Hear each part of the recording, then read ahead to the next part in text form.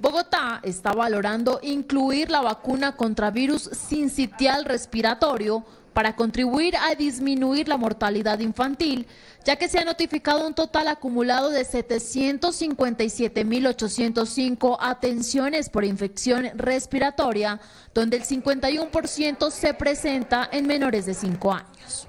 En Bogotá, durante el año tenemos mm, normalmente dos picos respiratorios, uno entre abril y mayo, el otro entre septiembre y octubre, son los meses más lluviosos del año. Y allí aumentan todas las infecciones respiratorias, incluyendo la del virus sincitial respiratorio. Un estudio chileno indicó que la vacuna tiene una alta efectividad para prevenir hospitalizaciones en menores de 6 a 11 años en un 87,6%. Además, la implementación de la vacuna en recién nacidos y menores de 6 meses podría reducir la necesidad de camas hospitalarias durante los picos de infección. Los síntomas eh, principales asociados a infección por virus sincitial respiratorio es, eh, en los niños es que les da muchísimo estornudo, congestión nasal, fiebre, mucho malestar.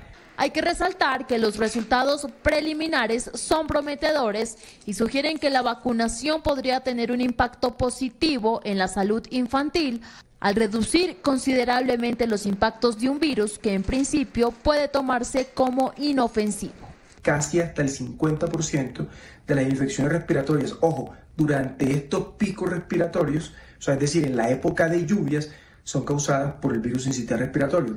Desde la Secretaría de Salud se indicó que ya se iniciaron los estudios de costo y efectividad durante este semestre para dar inicio a la instalación de mesas con el Ministerio de Salud en su inclusión. Si esta noticia le interesa y quiere mantenerse actualizado de lo que ocurre en Bogotá, lo invitamos a suscribirse a nuestro canal de YouTube.